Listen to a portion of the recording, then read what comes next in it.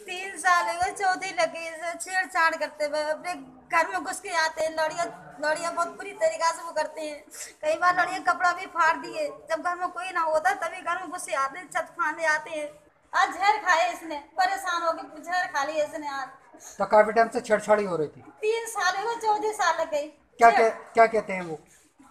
जी कहते हैं कि जो हमारी मनमानी वही वही हम करेंगे। तो आप भी कहता है जो हमारा करेगा, वही करेगा हमारे के पैसा बहुत है, ताने, थाने में चौकी में जितने चौकी वाले मांग हम उतने देंगे। दो महिलाएँ जो हैं पीदल बस्ती क्षेत्र की रहने वाली हैं, जो आपस में पड़ोसी भी हैं, इनका माह अप्रैल में एक दूसरे के विरुद्ध, एक दूसरे के बच्चों के विरुद्ध एफआईआर लिखाई गई थी, जिसमें एक पक्ष की तरफ़ से आरोप पत्र प्रेषित कर दिया गया, जो न्यायालय विचाराधीन है, और दूसरे पक्ष की तरफ़ से अंतिम रिपोर्ट लिखा दी गई।